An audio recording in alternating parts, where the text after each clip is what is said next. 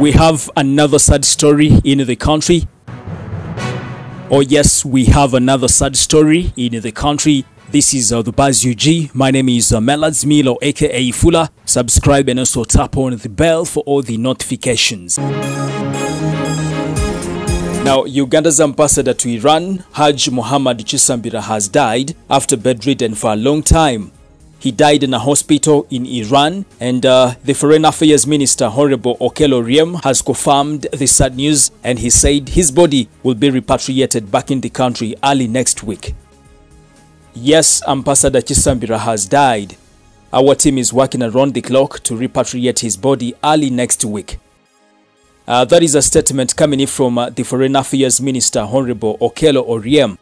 Other reports have revealed that Kisambira has been battling cancer and diabetes for the last two years. He was appointed Uganda's ambassador to Iran by President Museveni in 2021. May his soul rest in peace. Well, in other news, uh, Kira Municipality Member of Parliament Honorable Ssemujju Nganda in a political show on NBS TV yesterday said uh, President Museveni is not interested in handing over power to anyone, not even his son, General Muhoozi Kainerugaba. He said General Muhoozi Kainerugaba can only inherit his father's guns, but President Museveni is likely to die in power unless he is removed forcefully. Well, that was Honorable Ssemujju Nganda's submission on NBS Frontline last night. I don't know what you make of his submission, but the comment section is very open for you.